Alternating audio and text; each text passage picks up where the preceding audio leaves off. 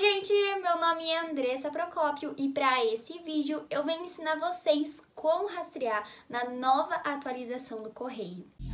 Every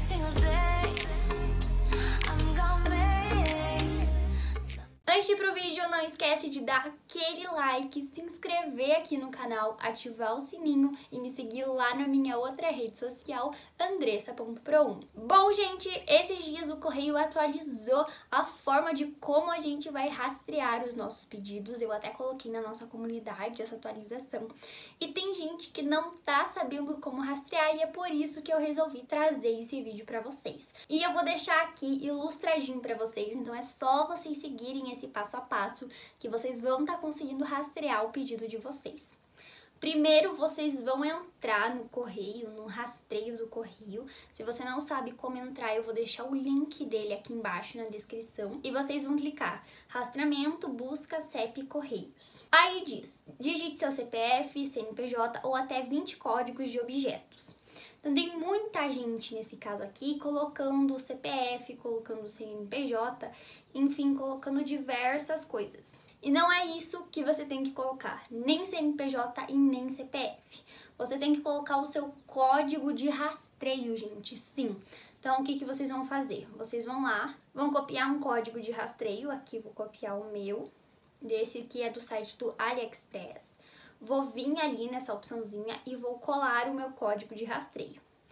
Em seguida, embaixo, agora você tem que colocar ali esse texto, né, da imagem. Se você achar muito difícil, tem esse microfone aqui do lado, ele vai soletrar para você né, o que, que tem nessa imagem.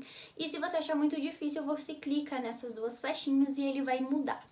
Então, no caso ali, 76, 7, FP. Repare que as letras no meu caso são letras minúsculas.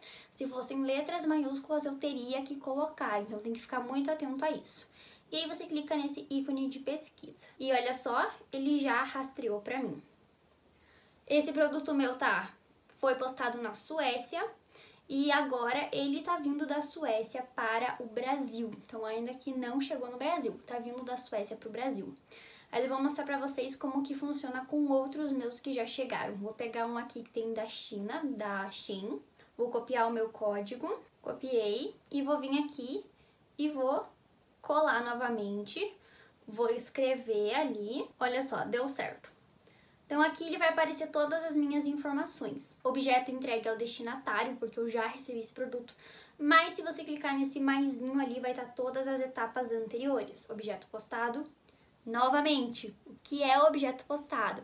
É quando o seu pedido, é, por exemplo, já está aqui no Brasil ou foi postado lá na China e aqui no site do correio ele não vai atualizar informações enquanto o seu pedido não começar a circular dentro do Brasil.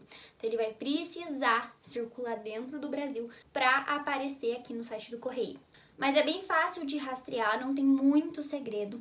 Lembrando, não coloca seu CPF nem seu CNPJ, coloca o seu código de rastreio. É esse o segredo que tem para você conseguir rastrear. E eu espero que vocês tenham gostado desse vídeo, que vocês tenham aprendido como rastrear agora no site do Correio. Eu sei que ficou bem mais chato, bem mais complicado. Se eu te ajudei de alguma forma, deixa seu like, se inscreve aqui no canal, ativa o sininho e me segue lá na minha outra rede social, andressa.pro1. Obrigada, gente, até o próximo vídeo.